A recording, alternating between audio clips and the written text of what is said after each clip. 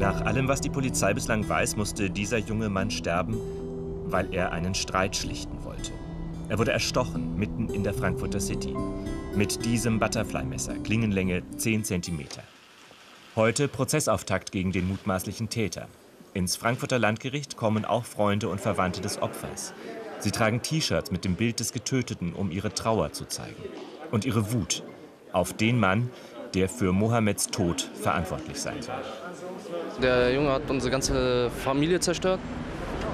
Und wir wollen auch nur, dass äh, er seine gerechte Strafe bekommt. Das 21-jährige Opfer hatte noch so viel vor im Leben. Ja, der hat seine Ausbildung hat mal angefangen. Der wollte heiraten und eine eigene Wohnung. Und der hatte viele Wünsche. Es passiert in den frühen Morgenstunden am 24.08. letzten Jahres in Frankfurt-Sachsenhausen. Das spätere Opfer trifft zusammen mit Freunden auf eine Gruppe Jugendlicher. Es gibt einen Streit, dessen Grund bis heute ungeklärt ist, doch offenbar versucht Mohammed die Streitenden zurückzuhalten, zu bremsen und bezahlt ausgerechnet dafür mit dem Leben.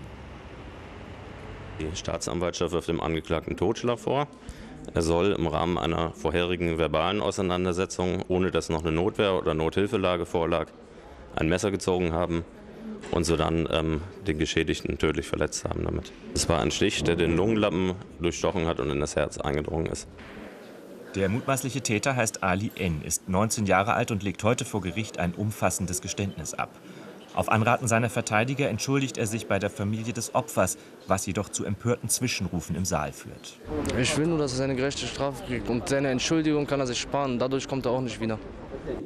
Schon bei der Trauerfeier für den 21-Jährigen im vergangenen Jahr wurde deutlich, wie tief der Schmerz in der Familie des Getöteten sitzt. Wie kann er ihn einfach ins Herz stechen? Obwohl er nur schlichten wollte. Der andere hat einen Stress gemacht, der andere hat Stress gemacht mit den Leuten. Er wollte schlichten und er kriegt halt das Messer in sein Herz rein. Mein Bruder, falls Sie die Fotos von ihm gesehen haben, der hat immer gelacht. Es gab keinen Moment, wo ich meinen Bruder sauer gesehen habe oder beleidigt gesehen habe. Das ist einfach ein Goldjunge. Weil Ali N. zur Tatzeit erst 18 Jahre alt war, wird er voraussichtlich nach den Vorschriften des Jugendstrafrechts bestraft werden. Das bedeutet, ihn erwarten im Höchstfall zehn Jahre Gefängnis. Der Prozess um den Tod des 21-jährigen Mohammed Hassan wird noch mehrere Wochen lang dauern.